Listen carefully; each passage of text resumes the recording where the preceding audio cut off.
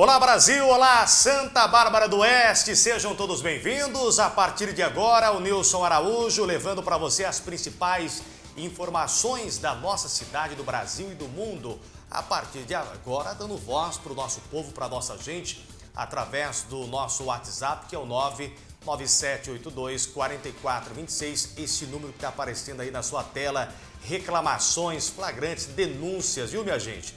É isso aí, quarta-feira, dia 3 de maio de 2023. Vai compartilhando também a edição de hoje aqui do nosso jornal. Se inscreva no canal da TV SB Notícias, clique no gostei e ative o sininho. Então vamos em frente que atrás está cheio de gente. E aqui o Jornal da TV SB Notícias, a principal função é prestar serviço para o nosso povo, é ajudar, dar voz a população de Santa Bárbara do Oeste. Caso do rapaz de 27 anos, Igor Francisco, morador do bairro São Fernando, a família faz o apelo para que ele possa ser transferido para o hospital de Queimados. A irmã dele falou conosco, a Érica, e faz o apelo aqui para o Jornal da TV SB Notícias. Ele está aqui agora. Vamos conversar aqui com a Beatriz. Beatriz, é, vocês, é, como familiares aqui é, do Igor Francisco, ele está precisando dessa transferência o mais rápido possível, não é isso? Como isso. que tudo aconteceu, Beatriz? No dia 27, na quinta-feira passada, por volta de uma hora da tarde, meu irmão estava na frente da casa da minha mãe. E uma vizinha que estava num bar na frente pediu ajuda para ele para reacender um tacho.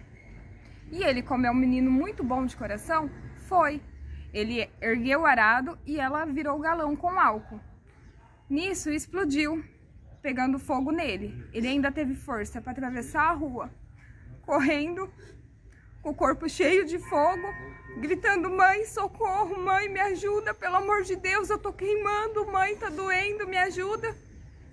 Minha mãe, naquele desespero, enrolou ele, no, levou ele para debaixo do chuveiro, conseguiu arrancar a roupa dele apagar o fogo, enrolou ele num lençol. Nisso, os vizinhos já estavam ligando para bombeiro, SAMU, resgate.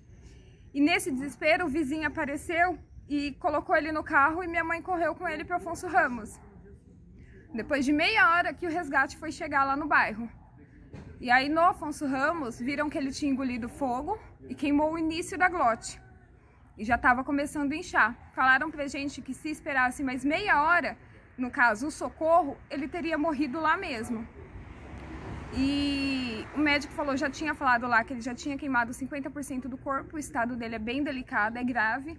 E encaminharam ele à noite, conseguiram uma vaga aqui no Hospital Santa Bárbara. Então ele, nesse momento, ele está aqui sendo acolhido pelo Hospital Santa Bárbara. É, pelo que nós é, né, tivemos algumas informações, é de que tem, já tem inclusive uma liminar da justiça. Duas. Duas liminares, Duas. né, para que ele seja transferido para um hospital de referência é, de queimados aqui na região. Isso, isso, tem sim. A gente entrou com uma advogada no sábado à noite para solicitar essa vaga para ele. No domingo, o juiz de plantão assinou, concedeu a nosso favor, graças a Deus. E eles tinham até uma hora da tarde de segunda-feira para poder transferir o meu irmão. Eles não cumpriram a liminar do juiz. É, a advogada entrou de novo com o segundo recurso. É, o Estado agora responde criminalmente. A gente ganhou de novo. Eles tinham até as 5 horas da tarde de ontem para transferir o meu irmão. Não transferiram. Ontem a saturação do meu irmão baixou. O estado já está um pouquinho mais delicado. E agora ele tá aqui, a gente tá na luta, a gente tá apelando porque é uma vida, ele é pai, ele tem 27 anos, tem uma filha de 4 aninhos. A família, nós estamos desesperados. Vereador veio bastante atrás, mas não ajudou. Então, foi o único recurso, é entrar contra o Estado, contra a Justiça, para poder ajudar ele. Ele está pedindo socorro, a família está implorando socorro. É, nós vamos entrar em contato com a Secretaria de Saúde do Estado agora pela manhã para saber qual é o posicionamento por parte é, deles e nós pedimos inclusive essa liminar para que você possa encaminhar para a nossa redação. Tudo bem, Beatriz? Tudo bem. Tá, então é, força aí, coragem É, conte conosco com a Rádio Brasil, com a SB Notícias, tá bom? Obrigada. Muita força aí pra mãe também, né? A mãe precisando de muito apoio nesse momento. Muito. Muito porque não tá um- sendo uma situação fácil. O pessoal Só do bairro lá isso. conhece muito ele, né? Conhece, ele é bastante conhecido. É todo mundo comovido, né? Ele está aí no Hospital Santa Bárbara aguardando essa transferência. Atenção, Secretaria de Saúde do Estado. A mãe está lá, em frente ao hospital, a irmã também, fazendo esse apelo. É todos nós aqui comovidos, né, gente? Todos nós aqui comovidos com essa situação. Foi um acidente né, que ocorreu com ele é, de queimadura, né? 50% do corpo queimado precisa emergencialmente dessa transferência, né? Precisa emergencialmente. Volta para mim aqui, Davi.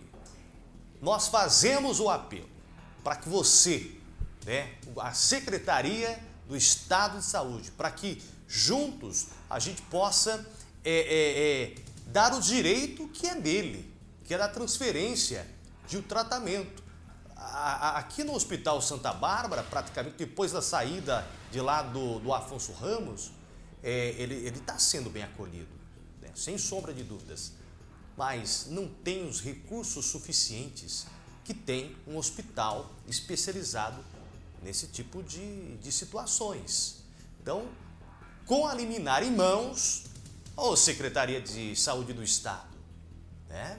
com a- duas liminares em mãos, o cidadão ainda enfrenta essa situação. Com duas. Isso é o absurdo dos absurdos.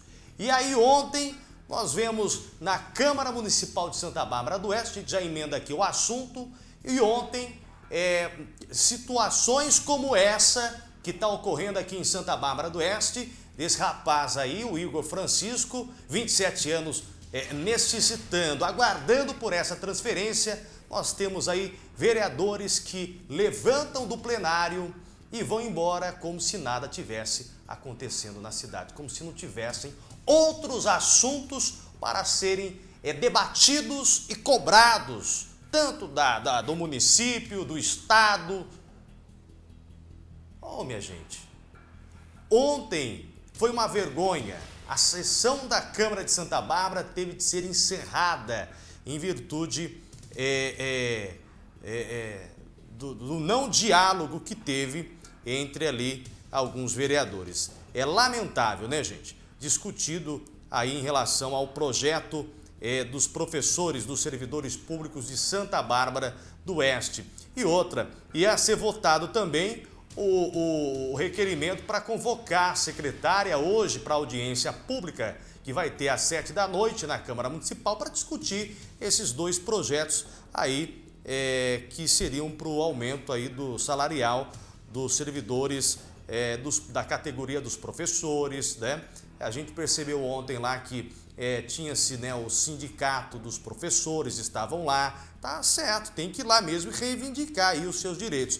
Mas o que a gente fala sempre de é igualdade, nunca, nunca desigualdade, né? Então ontem, é, com a atitude, a sessão foi é, levantada, como se diz aí no, no, no ramo político, na, na- né, no âmbito político, a, situa- a sessão foi levantada e as matérias que faltaram serão incluídas na próxima semana automaticamente. Aliás, ontem tinha um projeto é, que iria beneficiar também a associação, né, os diabéticos, na verdade, né, os diabéticos aqui na cidade, né, nas clínicas particulares, nas clínicas é, é, é, públicas, tinha que também ficou, esse projeto ficou prejudicado, prejudicado, né? Fora o requerimento também da secretária para vir a- na Câmara e explicar, não só para os vereadores, mas para o povo, porque os vereadores, eles representam o povo, né? E é isso que aconteceu ontem. Daqui a pouco, às 11 horas, tem um projeto também é, que será apresentado e votado em relação ao repasse do Hospital Santa Bárbara. Repasse era de 35 milhões, né?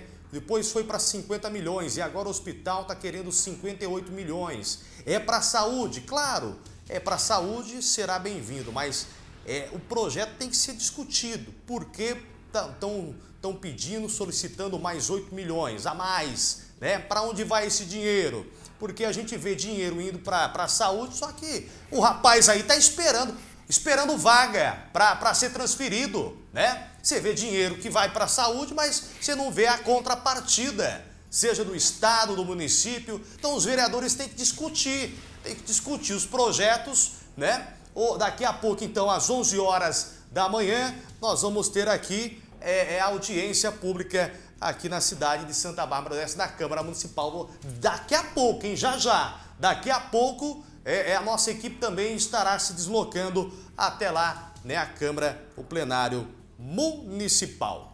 Olha, teve um acidente aqui agora, isso, hoje pela manhã, um acidente na cruzamento da Rua do Centeio com a Avenida Alfredo Contato no Jardim São Fernando. Uma idosa de 78 anos foi atropelada por um veículo. A idosa estava atravessando aí essa via, veja só, tem o semáforo, né? E o carro estava vindo no, da Rua Centeio, que é mão única de direção, e a idosa estava é, pertinho ali em cima praticamente da faixa de pedestre e ela foi atropelada. A Guarda Municipal deu apoio, atendeu a ocorrência, a, o Corpo de Bombeiros também, a equipe né, dos bombeiros de Santa Bárbara do Oeste foram para fazer o resgate, o socorro a essa vítima, uma senhora que é muito conhecida, inclusive, ali no bairro São Fernando, né, a Dona Maria. Que a senhora esteja bem, se recupere, que foi só um susto. Mas ela foi atropelada aí neste cruzamento. Olha, você vê aí as pessoas, né? É, ali é, no trânsito, né, as pessoas preocupadas com o que ocorreu, mas é o alerta, o perigo é, das ruas, né, gente? O perigo, inclusive, na travessia das ruas. E aí é um, é um horário, né? É uma avenida de bastante fluxo de veículos e foi no horário de pico, né? O horário foi por volta das é, 7 horas, é isso? 7 horas da, da, da manhã, essas imagens Dona Maria, se recupere, hein? 78 anos e aconteceu isso lamentável, triste, né? Nós temos uma reportagem aí do garotinho de 6 anos, a gente vai deixar para amanhã, mas uma reportagem de um, é um garotinho, a família, fazendo apelo também. Olha a saúde de Santa Bárbara como que tá, né? A saúde de Santa Bárbara do Oeste. Né? O garotinho precisa de, desses dois leites aí, ó, tá vendo? E a rede pública não estava é, é, ele não estava, né, a família não estava conseguindo esse leite. A gente vai trazer detalhes dessa reportagem na edição de amanhã aqui do Jornal da TV SB Notícias, sempre defendendo o povo, dando voz à nossa gente. Obrigado, Davi, nosso produtor, redator, futuro prefeito lá do Jardim Molon. Davi, mexeu com você, mexeu comigo. Tchau.